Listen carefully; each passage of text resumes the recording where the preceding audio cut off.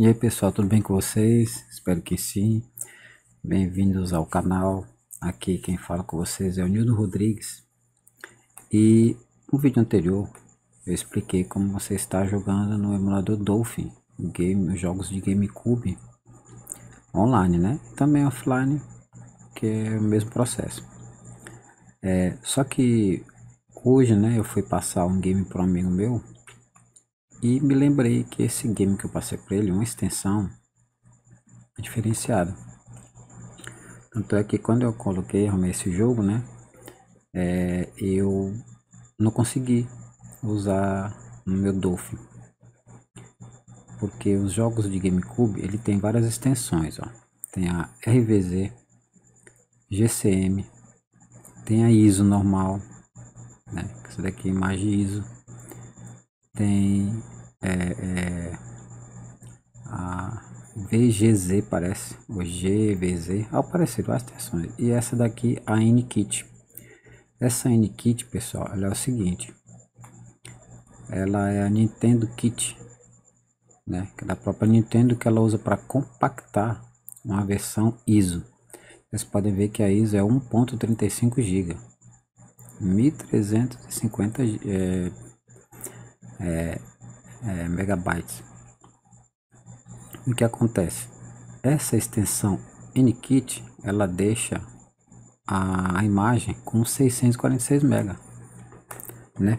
Praticamente metade do tamanho e não perde nada. Por que, que ela faz isso?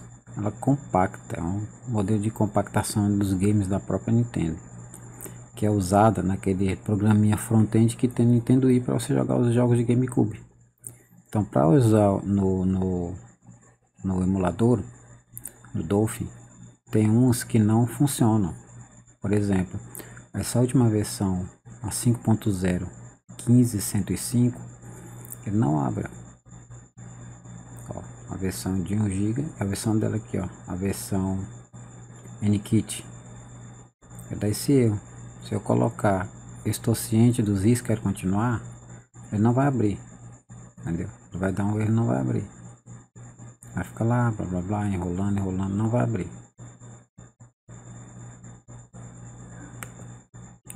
Aí vai fechar. Puf, né? Alguns não vai abrir. Ele vai fechar, ele vai fechar. Então eu tenho que converter, volta ele para ISO, né?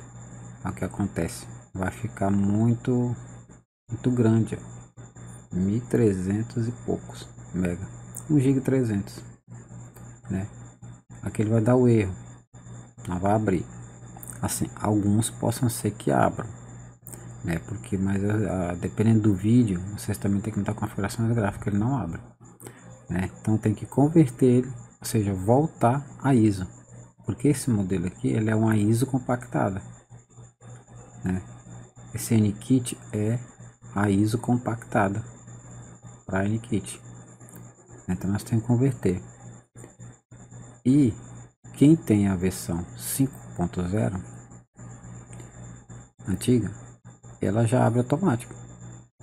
Ela não precisa de converter.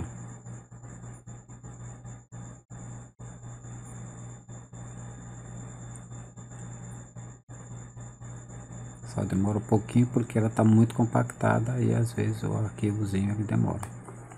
Aí, tá vendo? Já abriu. Essa aqui tá aqui, pessoal, isso porque eu já converti. Vou explicar para vocês como converter, entendeu? Só que o problema da 5.0 é que ela não lê os outros arquivos. Os outros jogos. Ela não é RVZ, né? E a outra GVZ ou algo parecido. A Briso ela reconhece a ISO, mas ela não reconhece RVZ, que é uma versão bem compactada também da ISO, né? Porque vai para colocar no cartão de memória ou USB é, é para vocês colocarem para ler no Nintendo Wii, né? Outro formato de arquivo para ler Nintendo Wii, no Wii U, né? Os jogos de GameCube, Wii U, entendeu? E pra gente converter esse NKit, vamos precisar de um programinha chamado NKit V, é a versão 1.4. Deixa eu ver cadê ele aqui. Aqui ó, o NKit, o NKit 1.4. Aqui pessoal, tá o NKit, eu tenho ele completo aqui. Vou deixar na descrição para vocês baixarem. Na descrição não, lá nos comentários fixados. É o NKit 1.4, só que ele aqui é completo, que eu já tenho mais o conversor de partições do GameCube. Né, de, outras compl coisas complicadas. Aqui ó, NKit V 1.4. Beleza? Ele vai vir compactado. Aí vocês vão clicar aqui ó, download now aí vocês baixam ele. Não tem problema nenhum não. Tem vírus se der um errinho aqui na hora de baixar que é vírus vocês só colocam aqui é, marca manter. Beleza? Isso aqui que tá demorando aqui tanto essa internet aqui hoje meu Deus. Isso porque só é 300 e pouco. Pronto, pois é ó. Minikit v1.4 como eu já tenho ele instalado aqui não vou instalar. Pois é pessoal. Então nós vamos no nkit 1.4 vocês vão aqui no nkit processing app. Abram ele. CLDI vá para o modo administrador. Beleza? Aqui pessoal é, não mexa nada. Apenas aqui que ele vem aqui clica ele vem aqui na função ele vem esse teste mod clicado. Vocês tiram teste mod beleza? Do jeito que tá você deixa. Aí vão lá na pasta aonde tá o jogo de vocês no formato inikit, né? Joga para cá. Ele faz a leitura. nkit.iso, que ele é a compactação da ISO. Aí vamos selecionar Select Mode. Nós vamos selecionar é, convert, convert to ISO, entendeu? Se o seu é, é, emulador ele lê essa GC, é, GCZ, que eu tinha falado também, é outra, vocês podem colocar no kit GCZ, já que não lê ISO, né? Como que nós queremos só apenas ISO, convert to ISO, beleza? Então vamos clicar em convert to ISO e process, beleza?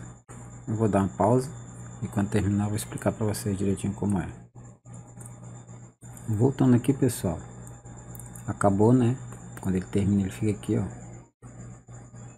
Full veri, veri, verif, life, sei lá. Verificação completa.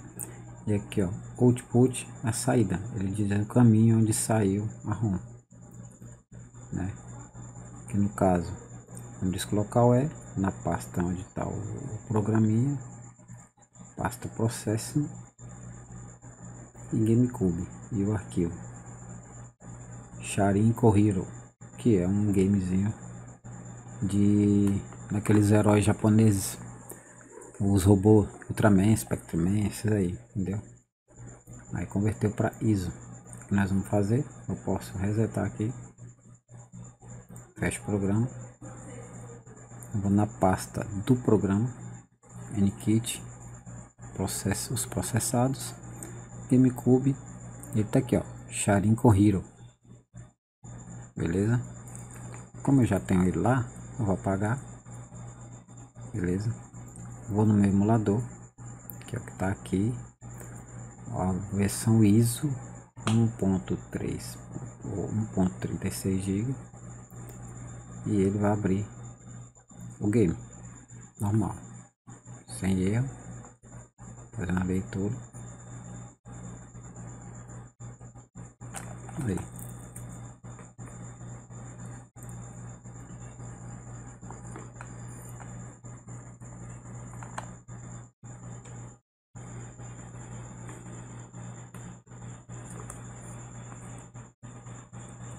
Deixar em tela cheia para vocês verem a artezinha do game. Lembrando que a versão 5 ela lê esses formatos, não lê aquele outro. Aquela RVZ porque é outro formato mais compactado que é, serve para vocês rodarem no cartão de memória e no pendrive através de um programinha do Wii U ou um programinha que vou que colocar dentro do que ele fica botável pelo pendrive e, e o cartão SD para vocês colocarem no computador beleza não sei se vocês conhecem esse jogo aqui já viram por aí eu também não conhecia conheci só um tempinho atrás eu nem sabia que existia esse jogo um colega meu do nada perguntou se eu li, se eu já joguei aquele jogo dos, dos meninos no triciclo, dos robôs americanos, Black Rider, Ultraman. Eu falei, não, nem sabia. Aí ele me mandou um link, mandou um vídeo no YouTube, aliás. Aí eu vi e tentar baixar. E o que aconteceu comigo foi isso aí a primeira vez. Só que no meu 5.0 ele funciona normal. E no outro que eu uso nas multijogos, que é mais novo, mais novo, ele não chegou a funcionar. quando eu converti, também não funcionou. Por quê? Porque eu uso a placa de vídeo do notebook, ela é boa, então eu uso, ela tem suporte a Vulkan, né, e, e 4K. Só que no jogo ele não vai, né, só na 1080p, só que isso aqui eu deixei em 720 e coloco, posso colocar o PGL, né, ele funciona mas é melhor colocar DirectX 12.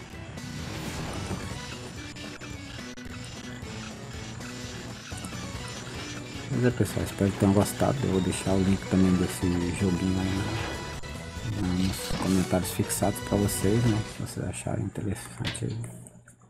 Beleza? Muito obrigado a quem viu esse vídeo. E espero que se curtirem, deixem nos comentários aí alguma coisa, alguma pergunta deixe seu joinha, compartilhe com a galera e também assinem nossos canais aí pessoal.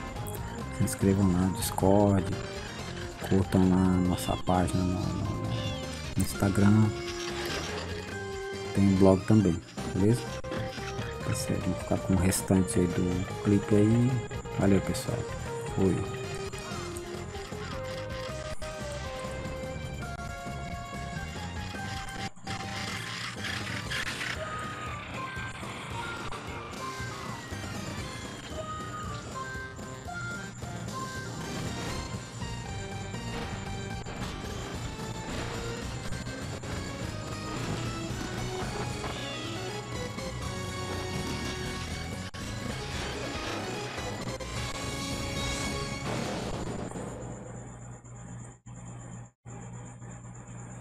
Uh -huh.